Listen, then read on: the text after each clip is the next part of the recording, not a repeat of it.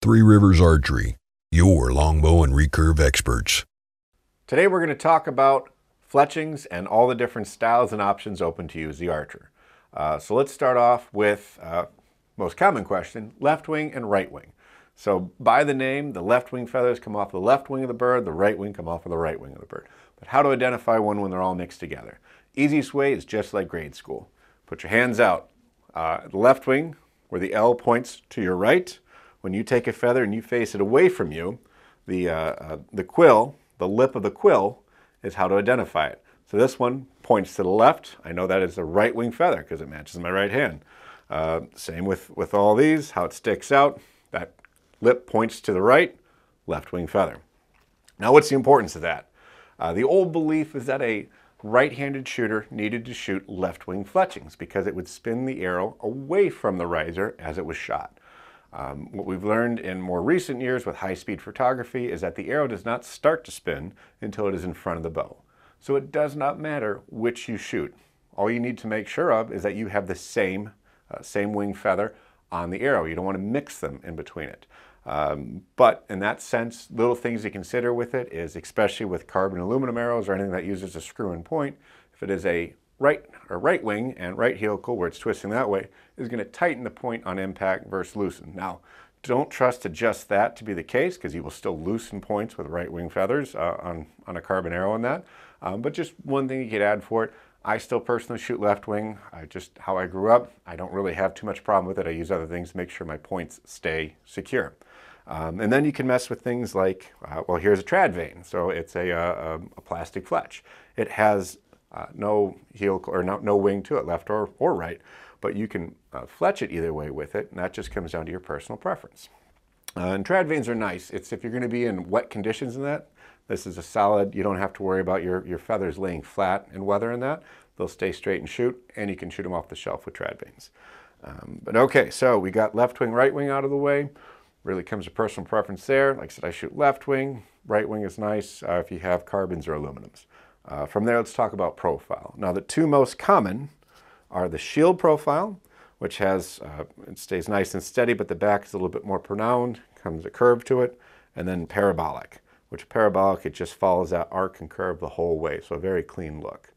Um, there are probably dozens of other profiles you can get. We sell feather choppers that have all those, so if you want to cut from full-length feathers what you like, it's great. Um, when you're considering this, other than style, what speaks to you is also surface area. And this also goes in with length, but in particular for these. So a 5-inch shield cut and a 5-inch parabolic cut, there is slightly less surface area on the parabolic. Now when we consider that, uh, what you're using with surface area when it comes to fletch is kind of like a wing on a plane. The bigger the wing, the more stable it's going to be.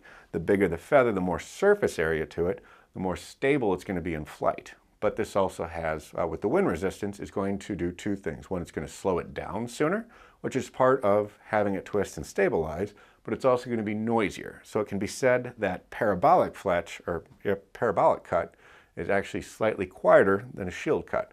But we're talking really, really minute differences when it comes to the same length and that.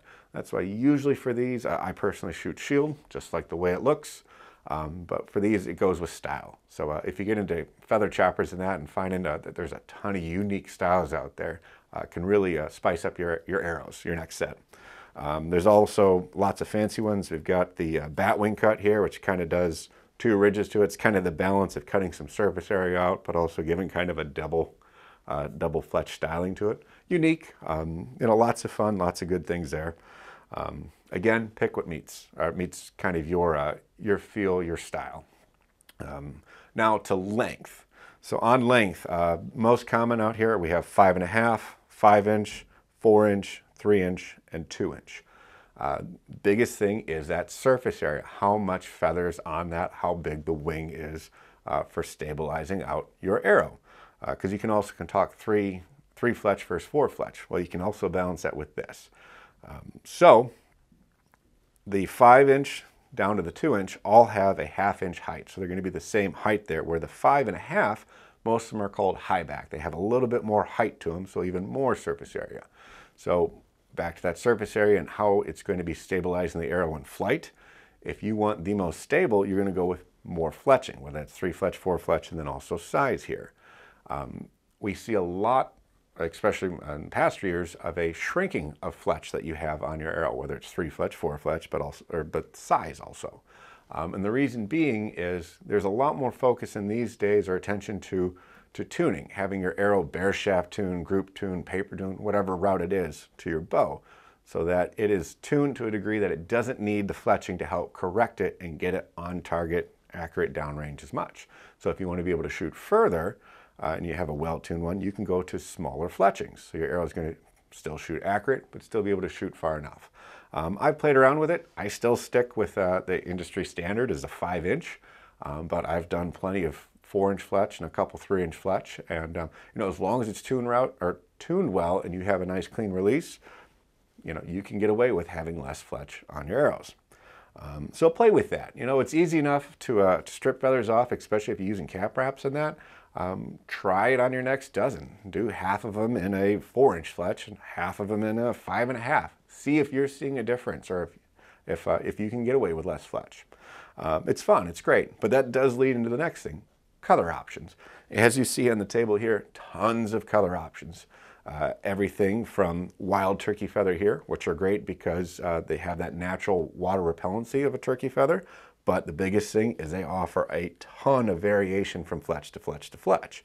Um, even on the same bird, you'll see not that unique pattern like you do with uh, like artificially barred feathers and how they are done. And even different uh, brands and how they do their barred to give a nice little pizzazz. Uh, you see some here where they do uh, different dyeing to it. You have two colors to it. And then of course the solid, solid color in any and every color available out there. Um, if you're looking for a particular shade, it's probably being produced. Uh, so you can really stand out with your next arrows and have them be unique. Uh, there's even fun ones. These here, actually a spliced one, where there are three different color fletchings, and they cut the fletch from it, and they mount it to the quill of the next one, or of the original here, so on the black. And that gives just an absolutely gorgeous style to it and, and such character to your, to your arrows. A little pricey, but man, it, it makes your arrow stand out. And that's what's great about especially fletching your own arrows is, is you're allowed to express yourself. You know, not all of us build our own bows or have styling like that, so there's a lot of similarity there. But with your arrows, you can stand out and be noticed. Uh, it's great when you're shooting with a bunch of friends and you go to get the arrows and they go, yep, that's, that's Johnny's arrow because um, you know it has splice fletchings to it or whatever else makes it unique. Um, but yeah, it's a lot of fun. You know, I enjoy Fletch. Um, you know, you, you go through uh, different styles for it. My current one is I like a lot of yellow on mine. I think it stands out, but also blends in come fall. So balance there to it. But, uh, but try new things. As you see here, you know, we have kind of the standard styling to it where you do a, a barred feather and then two solids.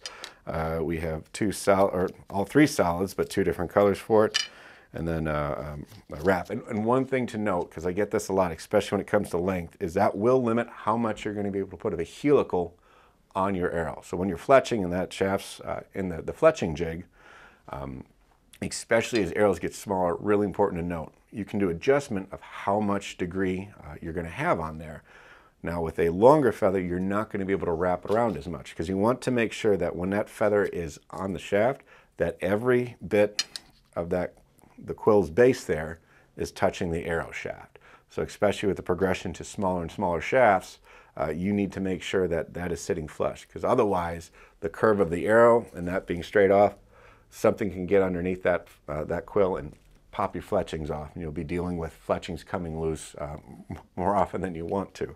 Um, but just the thing to note, at least having a few degrees of offset and just match that to it. So if you have left wing feathers, use left helical, right wing fletch, right helical, you do the straight, pick any way you like. Um, but that's it. Now, if you have any questions about fletchings, uh, whether it's turkey feathers, uh, uh, vanes, whatnot, please comment below. Be happy to answer them. If you like the video, please hit the thumbs up. If you really like the video, please hit that share button to share with your friends and family. I'm Jonathan Karch Three Rivers Archery. Thanks for watching.